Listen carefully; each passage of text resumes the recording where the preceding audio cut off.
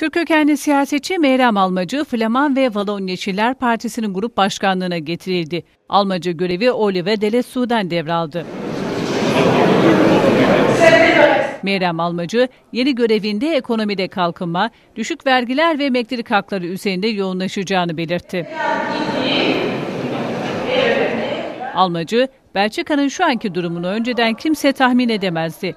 Bu tarihi süreci bir dönüm noktasına çevirmek için hiç olmadığımız kadar kararlı ve mücadele ruhu içerisindeyiz dedi.